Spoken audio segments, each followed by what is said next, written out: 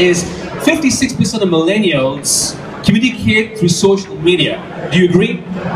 If you don't like a service, you just put it on Facebook. Everybody knows about it. Or Twitter, right? It's a fact. It's just the way it is, right? Number three, they will outnumber you people, Generation X, by 2023. They're catching up, all right?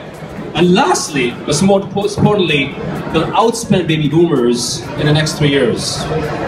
So they are the future, you are, okay? So we have to kind of update the operating system and how we manage them. We can't use old school, it doesn't work anymore. Make sense?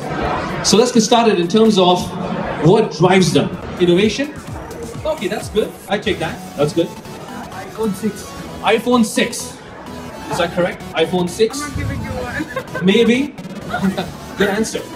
I wonder if it's correct yet. To be Creative. to be creative, innovation. I see a theme there. Would you agree? Yes.